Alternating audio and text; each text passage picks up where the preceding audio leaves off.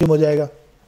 चलो, ये देखो, एक पार्टिकल है मूव करता है स्पेस में, एक पॉइंट से दूसरे पॉइंट तक। चलो, एक पॉइंट है स्पेस में, ये हम लोगों का एक्स एक्सिस है और ये हम लोग का वाई एक्सिस है। क्लियर है? This is the X axis this is the Y axis a point move from this point A point A to point B चलो पॉइंट ए से पॉइंट बी तक कोई पार्टिकल मूव कर गया और इसका पोजिशन वेक्टर आर वन है। और इसका जो पोजीशन वेक्टर है, दूसरे पोजीशन का, वो आर टू है। How much work has been done ठीक है? और इस पे जो फोर्स लग रहा है, वो भी वेक्टर के फॉर्म में। बहुत आसान क्वेश्चन है। बेसिकली वेक्टर का है। ठीक है? ऐसे केस में वर्क डन कैसे निकालते हैं? वर्क डन निकालते हैं dot product of two vector force और multiplied by displacement displacement vector क्या होता है? चेंज इन पोजिशन वेक्टर, ठीक है? तो चेंज इन पोजीशन वेक्टर तो change in position vector delta R कैसे निकालते हैं? फाइनल में से इनिशियल को घटा देते हैं। Final vector minus initial vector final vector R two from point इतना आर टू कितना है? Four J cap plus three K cap plus three K cap minus पहला वाला है माइनस टू आई कैप और प्लस फाइव जे कैप ठीक है? तो जब आप इसको घटाओगे इसमें से माइनस करोगे तो फाइनली जो हम लोग को मिलेगा पोजीशन वेक्टर वो two I cap I cap minus minus plus two I cap और प्लस थ्री के कैप ठीक है?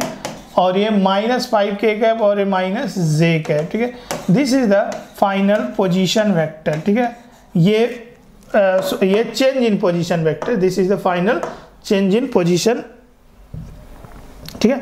जब एक पार्टिकल यहाँ से यहाँ चल जाएगा तो उसका डिस्प्लेसमेंट वेक्टर इतना होगा और उसकी डायरेक्शन इस वेक्टर की जो डायरेक्शन है, वो इनिशियल से फाइनल ऐसे कुछ आएगी। This is the delta R initial से फाइनल ठीक है? क्लियर है?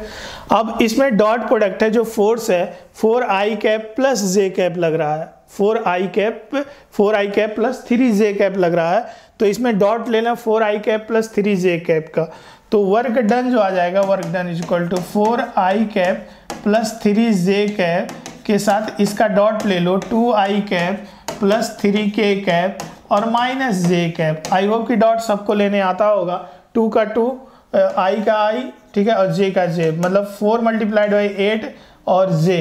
ये आ जाएगा माइनस थ्री और के का हो जाएगा ज़ीरो आई का आई जे का जे और के का के के का तो कोई है ही नहीं, ठीक है? मतलब ये आ जाएगा